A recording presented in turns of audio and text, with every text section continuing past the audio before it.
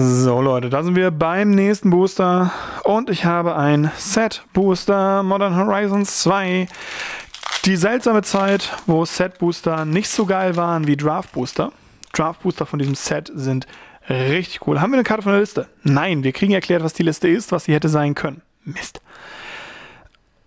Das sieht aus wie ein Phyrexian. Ist das oben ein Kopf? Das ist ein Kopf. Wow. Okay. Ja, Modern Horizon 2, sehr, sehr strange Zeit. Ähm, New Border. Bottle Gnomes, 4 Mana 3-3 Trampel. Wenn der stirbt, kriegen wir Leben in Höhe ihrer Stärke. 2 Mana Instant. Wir fügen 5 Schaden einer fliegenden Kreaturen zu. Oder eine Kreatur kriegt plus 3 plus 3. Wahrscheinlich wegen der Stärke Bonus. Mit Entweihen. Nun, Nested Shambler. Wir haben anscheinend wirklich, äh, unser Theme ist Power. Ein Mana 1-1, wenn er stirbt, kriegen wir X Squirrel Token, wobei Squirrel gleich der Anzahl, also X gleich der Anzahl seiner Stärke ist.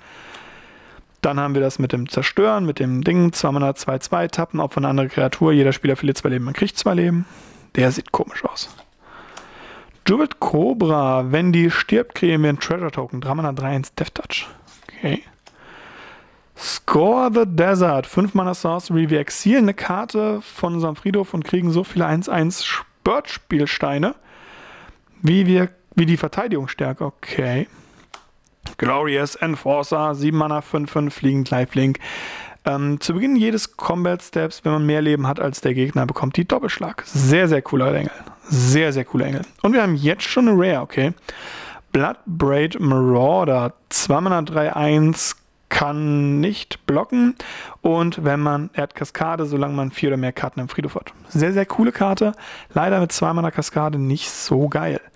Dann haben wir die Throwback-Karte Seal of Cleansing. Wow, wir haben sogar in diesem Slot anscheinend eine Rare bekommen.